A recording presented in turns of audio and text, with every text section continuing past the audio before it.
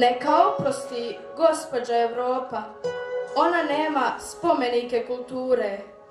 Pleme Inka u Americi ima spomenike. Egipat ima prave spomenike kulture. Neka oprosti gospođa Evropa, samo Bosna ima spomenike. Stečke, šta je stečak? Oličenje koštaka bosanca. Šta radi bosanac na stečku? Stoji uspravno, digao glavu, digao ruku. Ali nigdje, nigdje niko nikad nije vidio bosanca koji kleči i moli na kom je prikazan kao sužan.